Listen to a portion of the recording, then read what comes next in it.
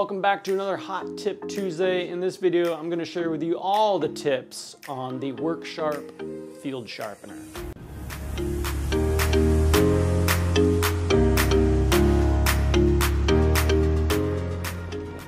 All right, and to kick it off here, I think the number one tip for you is to have a couple of these. I like the idea of keeping one in your pack, maybe one at home, keep one in the truck, center console, you know, have one at work.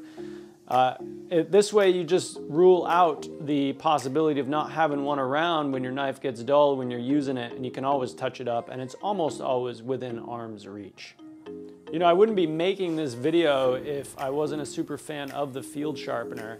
I think it delivers a lot in a very small manageable tool. This is one that could, like I said, go in your pack. It can go in your cargo pants when you're in the woods if you're on a hunt. Uh, I really like what this tool brings to the sharpening world. The other tip for you that I have is though is that WorkSharp doesn't give you a little case to keep it in. So you probably have a glasses case from those glasses that you keep breaking and losing. They always send you a new pair and uh, you just have accumulated all these glasses cases. Well, in most cases, the, uh, the WorkSharp Field Sharpener will fit nicely right inside one of those.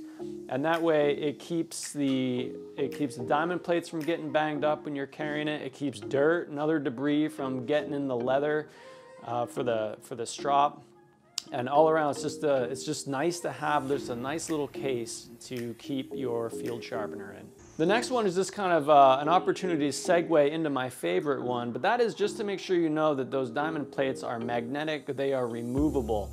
You can flip them over so that the abrasive is on the inside, uh, and that way you don't get them banged up if you don't have them in a case or anything like that.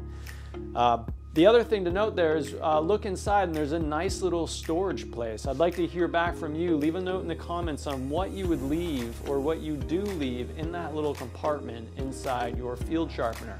Maybe it's a fishing hook and some line. Maybe it's a couple zip ties. I don't know, let me know. Maybe it's a little money, right? Like whatever, uh, whatever you put in there, let me know in the comments.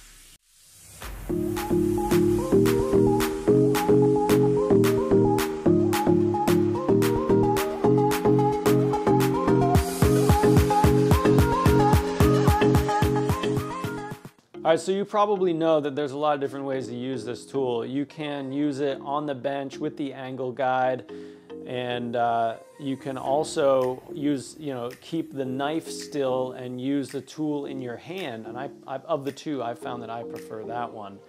But maybe uh, one thing that is less known or not practiced, but something that I really liked after I started doing it is I take the, the diamond plates off of the tool and I use just the diamond plates.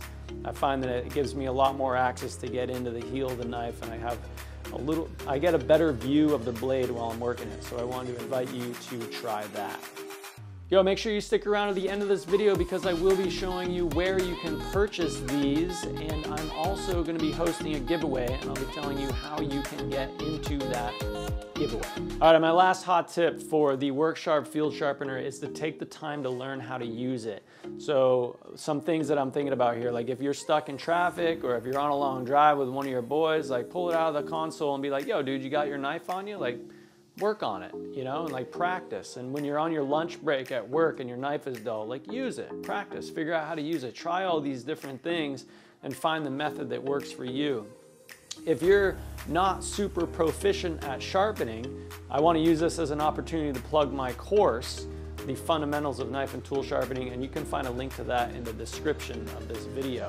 Lastly, I just need to let you know where you can get one of these. Clearly, you can get one on Amazon. I also sell one in my shop, but I don't compete with Amazon because that would be silly. So uh, you're gonna spend more if you buy it from me, but know in advance that I appreciate that and it supports me doing the things that I do. So uh, don't rule out that as a possibility and thanks in advance for considering it.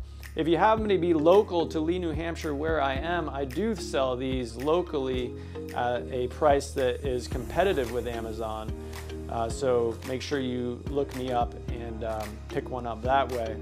And lastly, lastly, I'm gonna give one of these away. So I invite you to go into the description and find the link to the giveaway And next week, I will be selecting somebody at random from all the people that sign up at that giveaway, and I will be dropping one of these in the mail to you. Please understand, I'm only going to be shipping this to the United States. My apologies to my foreign friends. It's just that customs is ridiculous and the international shipping is ridiculous. So my apologies in advance. I appreciate your support anyway, and um, go sign up. All right, I hope you found these tips helpful. I hope you stock up on a few of these WorkSharp field sharpeners. And also, please know that these make awesome gifts for anybody in your life that uses knives, which is pretty much everybody. So until next week, I'll see you on the next Hot Tip Tuesday. Stay sharp.